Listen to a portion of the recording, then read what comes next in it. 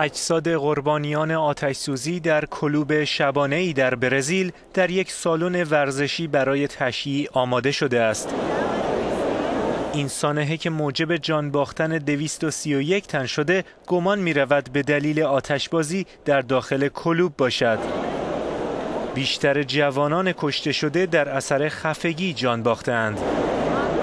یکی از دوستان برخی از این قربانیان می‌گوید ما هرگز فکر نمی کردیم که چون این اتفاقی برای کسانی که می شناختیم روی دهد. امروز تعداد زیادی از دوستانم را دیدم که در تابوت گذاشته شدند. به تازگی از مرگ یکی دیگر از دوستانم هم با خبر شدند شهروندی که پسرش را در این سانحه از دست داده می‌گوید پسرم تنها 27 سال سن داشت و سرشار از زندگی بود.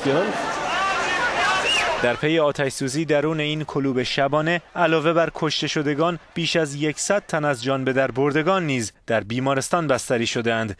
در حالی که جامعه برزیل در بحت به سر می‌برد قرار است که امروز شماری از اجساد تشییع شود.